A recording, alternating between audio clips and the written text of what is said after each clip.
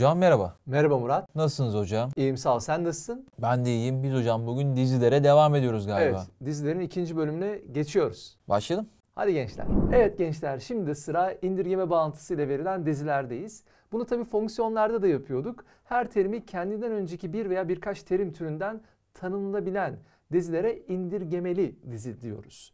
Tanımlan bağıntısında da indirgeme bağıntısı diyoruz ama buradaki ifadelerimiz böyle tek tek değer vererek yani n'e 1 vereceğiz. Buradan a2, a1'ler oluşacak. Sonra n'e 2 vereceğiz, 3 vereceğiz ve giderek hedefe e, ulaşmaya çalışacağız. Bunu daha çok sorularda da görebiliriz. Murat gönderir misin bunun örneğini? Evet bu verilen dizide AN dizisinde A1 eşittir 1 olduğu söylenmiş ve AN artı 1 eşittir N artı AN eşitliği veriliyor. Buna göre A10 kaçtır? Şimdi A1 veriliyor, A10 soruluyor. Böyle tek tek gitmek biraz vakit alacaktır. Onun için ufak bir uyanıklık yapacağız. Fonksiyonlarda da bu vardı.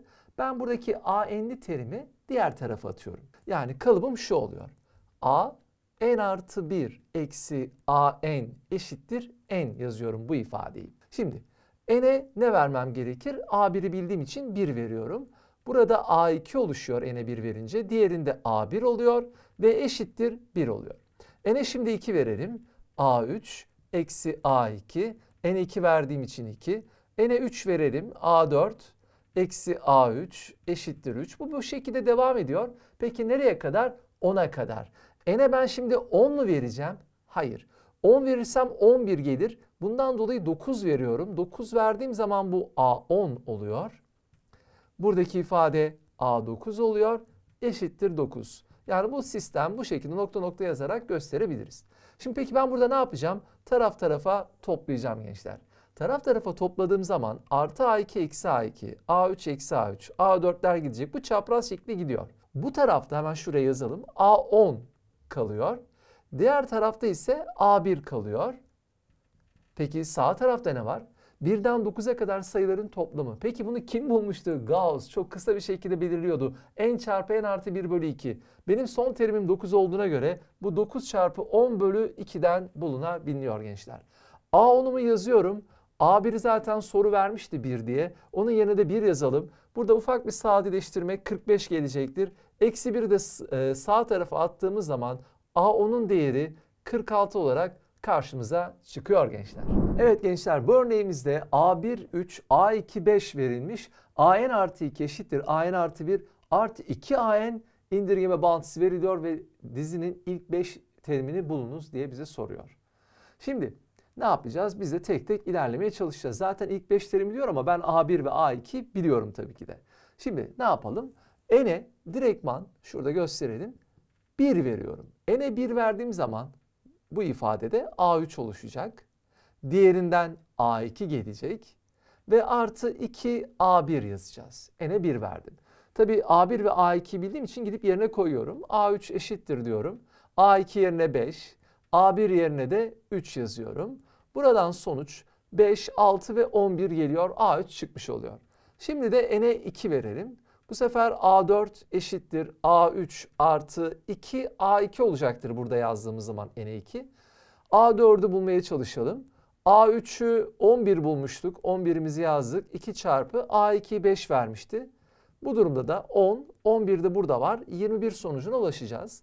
N'e şimdi de 3 verelim çünkü A5'i de istiyor bizden. A5 eşittir A4 artı 2 A3 olacaktır. A5 eşittir diyorum gençler. A4'ü burada 21 bulmuştuk. Artı diyelim 2 çarpı A3'ü de daha önceden 11 bulmuştuk. Burada 22 geliyor. 21 de burada 43 gelecektir. Böylelikle ilk 5 terimi bulmuş oluyoruz. Zaten ilk 2 terimi kendi vermişti. A3'ü 11, A4'ü 21, A5'i de 43 olarak biz buluyoruz gençler. Evet gençler buradaki örneğimizde de A1 4 olarak verilmiş ve n'e 2'den büyük değerler verebilirsin diyor 2 de dahil olmak üzere.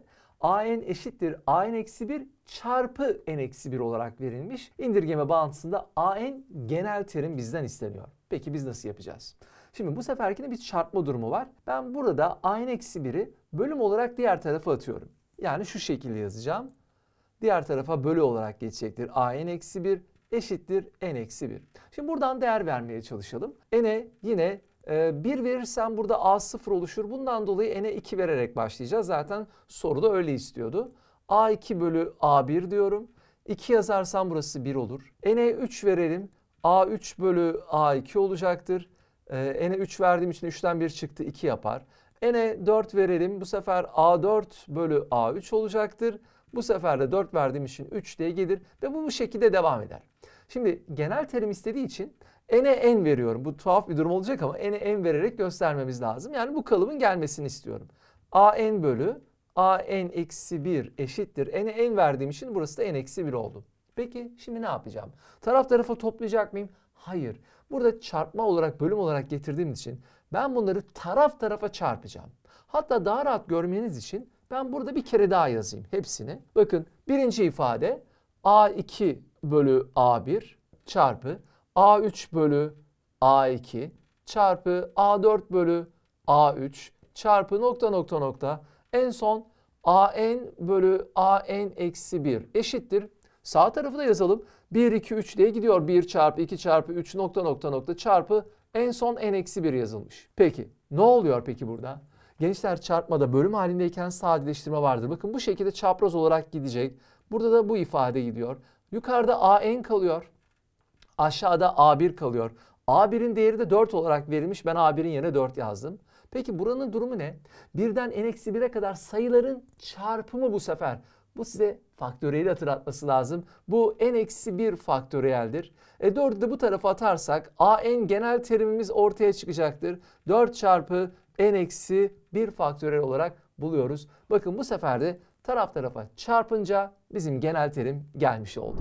Evet Yeni bölümümüz bir dizinin ilk n teriminin toplamı. Bunu biz Sn olarak gösteriyoruz. Sn dediğimiz zaman A1 artı A2 artı A3 artı An'e kadarki sayıların toplamı. Yani mesela S8 dersek A1'den A8'e kadar sayıların toplamı. S4 dersek A1'den A4'e kadar. Ama hep A1'den başlayarak toplam. Yani ilk n teriminin toplamı olarak gösteriyoruz.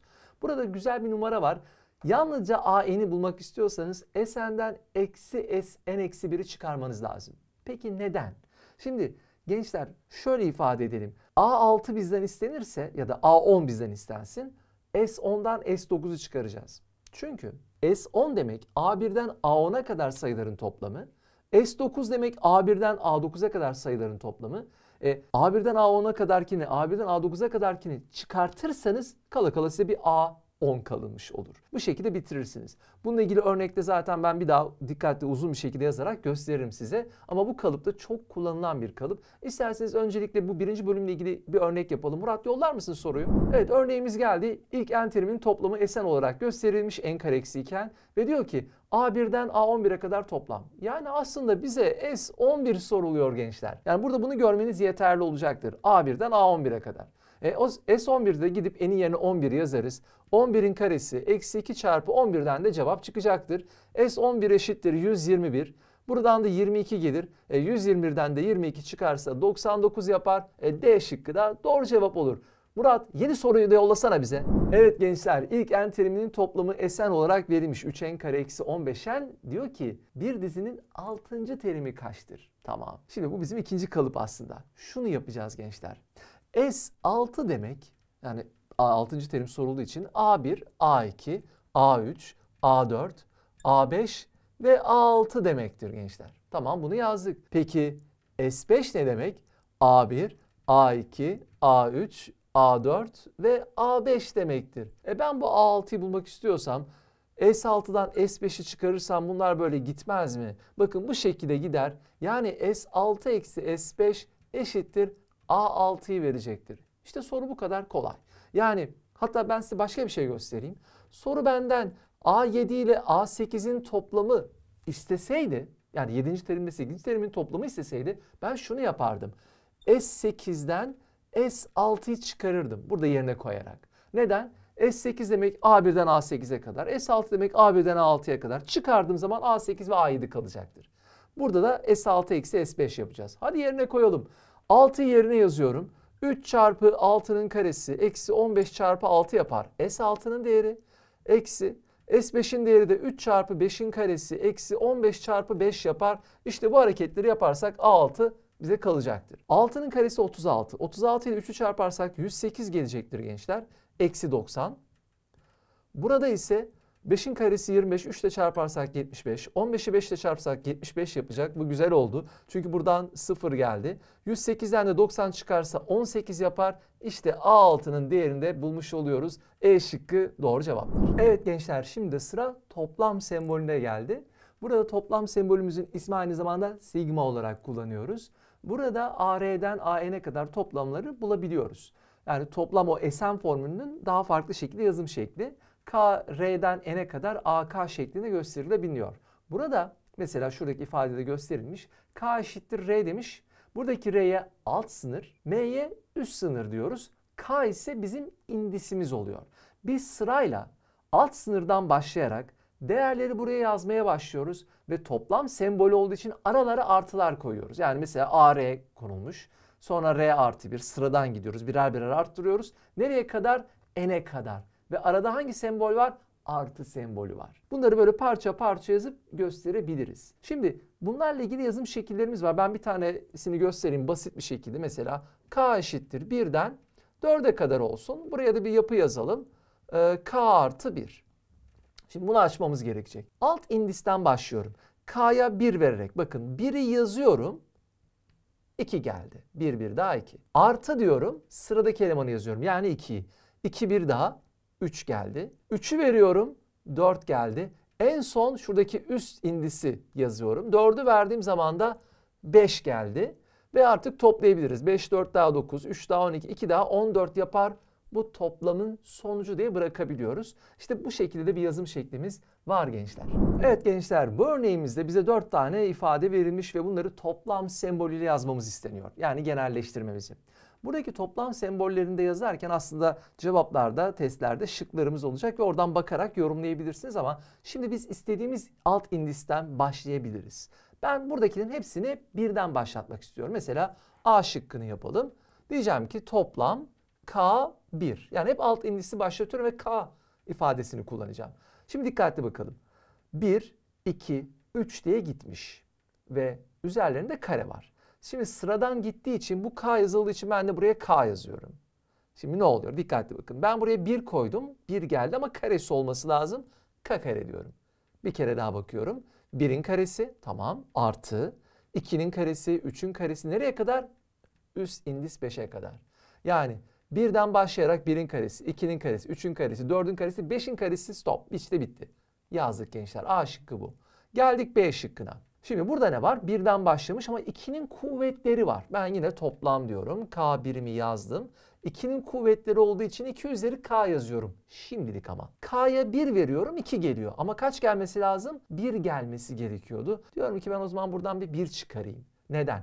1 verirsem 2 üzeri 0 yapar ve 1 gelir. Bakın 2 verdiğim zaman 2'den 1 çıktı 1, 2 üzeri 1'den 2 geldi. Nereye kadar? En son 10 gelmesi lazım 2 üzeri 10. Peki ben buraya 10 mu yazacağım? Hayır. 10 yazarsam en son 9 olur. Ondan dolayı 11 yazıyorum. 11 yazdığım zaman da 2 üzeri 10 gelecektir. İşte bu toplam sembolünü yazmış olduk. C şıkkı diyelim. Peki buradaki C şıkkında yine hemen toplam K1'i yazdım. Bakın hemen peşinden yazıyorum. Buradaki durum ne? 3, 6, önce işaretlerine bakmayalım. 3, 6, 9, 12. Üçer üçer gidiyor. Hemen 3K'yı yazdık buraya. Tamam dedik 3K bende var. Tamam 3K var ama esas bir sorun var. Burada bir artı bir eksi geliyor. O zaman ben o bir artı eksileri eksi bir de kullanıyordum. Ee, bir verdiğim zaman artı gelmesi lazım. Bundan dolayı buraya da K artı bir yazıyorum. Neden? Bir koyduğum zaman bu 3 olur. Bir koyarsam pozitif. 2 verelim. 6 olur. 2 verdiğim için 2'den 1 daha eklediğim zaman 3 yapar. Eksi 1'in 3. kuvveti eksi getirecektir. O zaman da eksi 6 gelir. En son 48 olması isteniyor. 16 verirsem bu işi bağlarım. Çünkü 16 verince 48 yapar. 16'yı ee, buraya verince de eksi getirecektir ve eksi 48 oluşur. Sıra geldi D şıkkına. Burada da küpler görüyorum. Yine toplam dedim. K1 yazdım. Küp olduğunu biliyorum ama ilk terim 3 gelecek. Şimdi ben buraya K yazsam 1'in küpüyle başlar ama 3'ün küpü gelmesi lazım ve sıradan gidiyor. Bundan dolayı ben buraya K artı 2 yazıyorum ve küpü. Çünkü 1 verirsem 3'ün küpü, 2 verirsem 4'ün küpü, 3 verirsem 5'in küpü. 10'un küpüyle biteceği için üst indisi de 8 yazıyorum. 8 2 daha 10, 10'un küpüyle bitiyor. Tabii şıklar olduğu zaman bunlara bakarak eleyerek de yapabilirsiniz gençler. Evet gençler bu örneğimizde toplam K1'den 63'e kadar k artı 1'in kök içerisinde yazılımı ve eksi karekök k diye verilmiş ve sonucu nedir diye soruyor. Şimdi yapmamız gereken şey birden başlayarak değerler vermek. Ben 1'i veriyorum. Kök 2 eksi kök 1 geliyor. Toplam sembolü olduğu için artı diyorum. Bu sefer 2'yi veriyorum. 2 verirsem bu kök 3 getirir. Diğeri ise kök 2 getirir. 3'ü veriyorum bu şekilde devam ediyor. 3'ü verdiğim zaman kök 4 eksi kök 3 gelecek ve artı nokta nokta nokta nokta diye yazalım. En son 63'ü koyuyorum. 63'ü koyarsam kök 64 eksi kök 63 gelecektir. Şimdi burada bir gidiş şekli var. Dikkatli bakın. Artı kök 2 eksi kök 2 artı kök 3 eksi kök 3. O zaman bu artı kök 4 ile gidecek. Burada da tabii ki de büyük olan değil küçük olan bir önceki terimle bunu götürecektir. Neler kaldı? Kök 64 kaldı. Bir de burada eksi kök 1 kaldı. Kök 64'ün değeri 8'di gençler. Kök 1 ise 1'dir. 8'den de 1 çıkarsa 7 yapar. D şıkkı da doğru cevaptır gençler. Evet gençler şimdi sıra çokgensel sayılarda. Bir çokgenin köşelerini temel alarak yazılabilen e, sayı dizilerine çokgensel sayılar diyoruz. Şimdi bunlardan en önemlisi bence daha çok kullanılanı e, üçgensel sayılardır. Burada birden n'e kadar e, olan ardışık doğal sayıların toplamı şeklinde yazılabiliyor. Tabi birden n'e kadar sayılar hemen size aklınıza şu gelsin Gauss gelsin. Ne yapıyordu? n çarpı n artı 1 bölü 2. Yani bir üçgenin çalışması yapıldığı zaman en kenarlıysa ona göre durum belirliyoruz. Ya da şöyle söyleyebiliriz. Birinci şekil diyoruz. Biri koyuyoruz. 1 çarpı 2 bölü 2'den sonuç getirtiyoruz. Bunları biz üçgensel sayılar diyoruz. Zaten üçgen şablonu oluştuğu zaman o sistemin geldiğini göreceksiniz. İsterseniz hemen bunun örneğini görelim. Murat yollar mısın örneğini? Evet gençler örneğimiz geldi. Görüntüde anlaşıldığı gibi üçgenler oluşuyor. Bakın bir tane nokta var, üç tane nokta var, altı nokta var bir üçgen yapısı, on nokta var, nokta nokta diye devam ediyor. Şekildeki gibi oluşan üçgensel sayıların kaç terimi 80'den küçüktür? Şimdi dikkatli bakacak olursak ne demiştik üçgensel sayı sistemine? n çarpı n artı 1 bölü 2 demiştik. Gerçekten de oluyor mu bir bakalım. Birinci şekil 1. 1'i koyduk. 1 çarpı 2 bölü 2'den 1 geliyor. Bakın 2'yi koyalım. 2 çarpı 3 bölü 2'den 2'ler gider 3 gelir. 3 nokta gelir. 3'ü koyalım. 3 çarpı 4 bölü 2'den 6 gelecektir. Bu şekilde devam ediyor. Peki soru neyi istiyor? Bu üçgensel sayıların kaç terimi 80'den küçüktür diyor. Yani küçüktür 80 yazıyorum. Şimdi gençler e, bunu şöyle içler dışlar yaparak da belirleyebilirsiniz. Yani n çarpı n artı 1 e, burada 160 yapar. Ben size şunu söyleyeyim. Arda arda iki tane sayının çarpımı 160 gelen bir sayma sayımız yok. Peki ne yapacağız? Hedef ne? 160'tan küçük olması zaten 160 eşit olması değil. Demek ki yani n'e 1 verirsek tutuyor, 2 verirsek tutuyor. En son kaç verirsek de yapalım. Bunda şıklardan ilham alabiliriz. Mesela ben burada 12'yi alsam, tam ortadan başladığımı düşünelim. 12 çarpı 13'ü kullansam 160'tan küçük mü? 12 ile 13'ü çarptığınız zaman 156 yapar gençler. Tamam aşağıda kaldı 12 olur o zaman. Hemen 13'ü deniyorum. 13 çarpı 14 e, yazıyorum burada gençler. 13 ile 14'ü çarparsak ne yapar? İşte burada 140 e, artı e, 42 daha 182 yapacaktır. E, bu durumda da e, 182 aşıyor. Demek ki en son kalıp buraya kadar olması lazım. N'e 12 verince geldiği için e, kaç terimi 80'den küçük diyorsa 12 terimi 80'den küçüktür. O zaman da doğru cevap C şıkkıdır gençler. Evet gençler şimdi de sıra karesel sayılarda. Bir tam sayının karesi biçimde yazılabilen sayılara karesel sayılar diyoruz. Tabi bu da bir dizi oluşturuyorsa karesel sayı dizisi ifadesi veriyoruz. Buradaki sistemimiz en kare sistemi. Dikkatli bakın bir noktada e, işte birin karesinden bir geliyor. Dört nokta bakın ikinin karesinden geliyor. Dokuzda üçün karesi dokuz yapıyor. Üçe üçlük. Dörde dörtlükte tabii dördün karesi on altı şeklinde geliyor. Yani yapımız en kare formatı olacak bir kare yapısı gelince 16 tane nokta, 5 tane olursa 25 tane noktadan oluştuğunu anlayacağız. İsterseniz yine bununla ilgili bir örnek yapalım. Murat yollar mısın örneğini? Evet. Deminki üçgensel yapıda olduğu gibi bu sefer de karesel bir yapı gelmiş ve şekli gibi oluşturulan karesel sayıların kaç tanesi 110 ile 270 arasında diyor. Evet buna göre 110 ile 270 arasında olması lazım bu karesel yapının en kare olmasından dolayı. Şimdi burada n'e değer vererek bu olayı bağlayacağız. 11 verdiğimiz zaman 121 yapar. Çünkü 10 verirsek 100 yapıyor aşağıda kalıyor. 12 verirsek 144 yapar. 13 verirsek 169 tamam bu şekilde gider ama tek tek bulmayalım. 270'ten küçük x sayıyı bulalım. Burada kareleri zaten ortaokuldan itibaren böyle hafızadan e, uygulamaya çalışıyoruz örneğin. E, 15 versek 225, 16 versek 256, 17 versek 289. 289 açtı. O zaman en son 16 ile bağlayabiliriz. O zaman tek tek yazalım. 14, 15, 16 bizim kare olarak sonumuz. Çünkü 16'nın karesi 256 yapıyor. 1, 2, 3, 4, 5, 6 tane değer vardır. E şıkkı da doğru cevaptır gençler. Evet gençler Fibonacci dizisi bizim için özel bir dizi.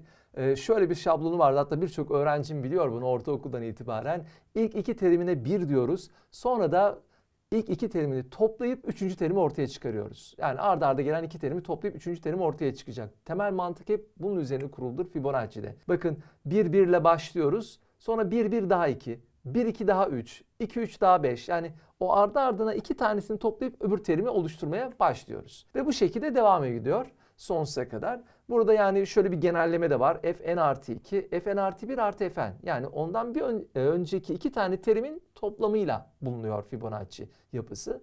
Ee, çok kullanılan bir yapı ama yani sınavda gelir mi neden olmasın? Belki bu yıl sürpriz olarak 2024'te Fibonacci gelecektir. O zaman bununla ilgili bir örnek yapalım mı? Murat yollasana bana. Evet gençler bir Fibonacci dizisi verilmiş bize ve m kare eksi n kare soruluyor. Biz kuralı bildiğimiz için üzerinden gidebiliriz. Bakın 1 1 yazılıyor.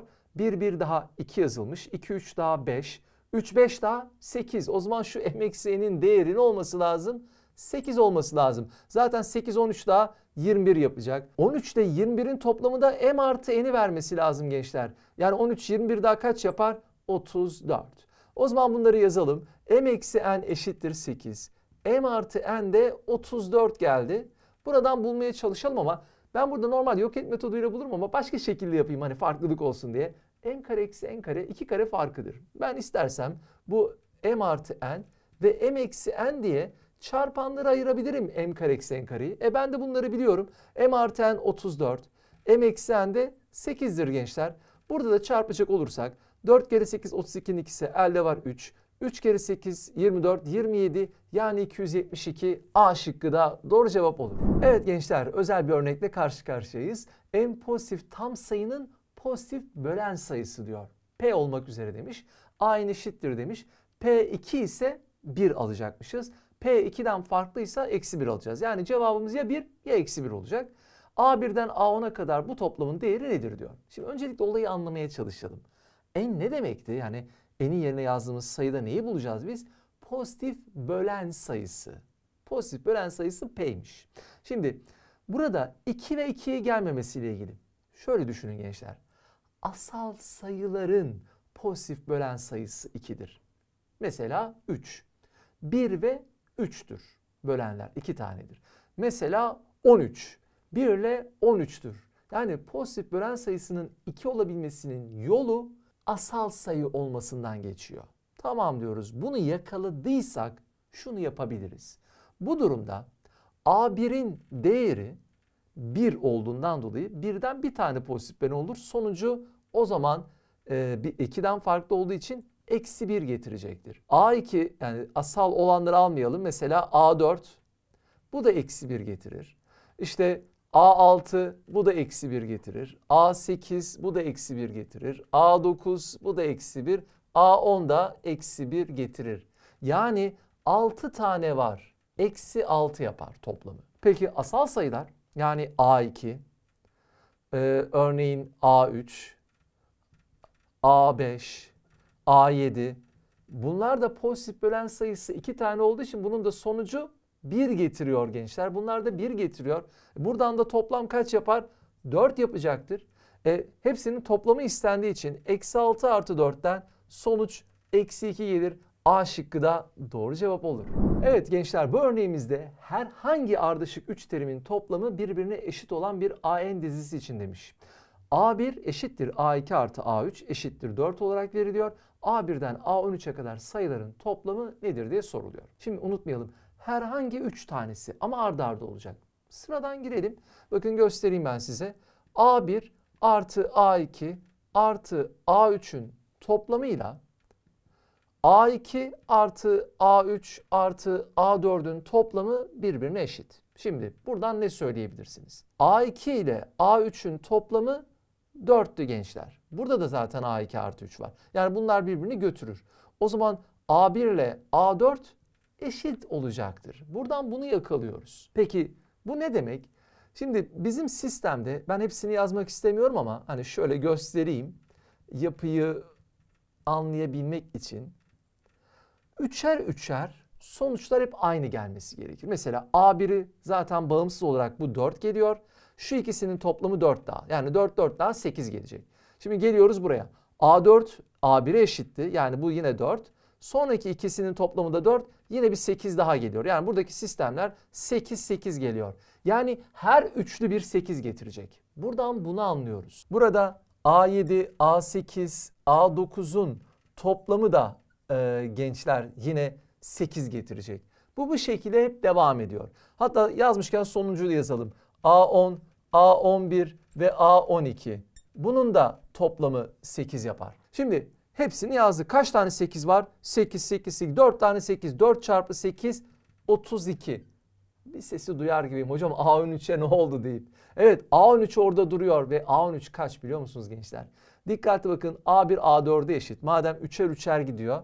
O zaman buradaki A1 A4'e eşit olacak. A4 A7'ye eşit olacak. A7 A10'a eşit olacak. A10 da A13'e eşit olacak. Hep o e, 3'e böldüğümüz zaman birinci kalan hep 4 olacak. Çünkü bu ikisi toplam olarak 4 getiriyor. Sonra A1 oradaki ayrıca bir 4'ü temsil ediyor. Burada da e, 32'ye 4'ü eklersek A3 için, A13 için sonuçta 36 gelecektir. İşte bu kadar kolay gençler. Yani yapacağımız şey üçer üçer yazıp hepsini 8'er getirdiği ve en son A13'ün de yine 4 olduğu. Çünkü bu 3'e bölünüp e, kalanı 1 getirenler mesela 4'ü 3'e böl kalanı 1 4 getirecek. 7'yi 3'e böl kalanı 1 o da 4 getirecek. 13'ü de 4'e böl kalanı 1 o da 4 getirecek. Ondan dolayı bu 4'ü de A13 için ekliyoruz. D şıkkı da doğru cevap oluyor gençler. Hocam bitti galiba. Evet bu bölümü de bitirmiş olduk Murat. Çok güzel hocam. Arkadaşlarımız videomuzu beğendiyse beğenmeyi, kanalımıza abone olmayı unutmasınlar. Bir sonraki videoda görüşmek üzere. Hoşçakalın. Üçüncü bölümü beklerim gençler.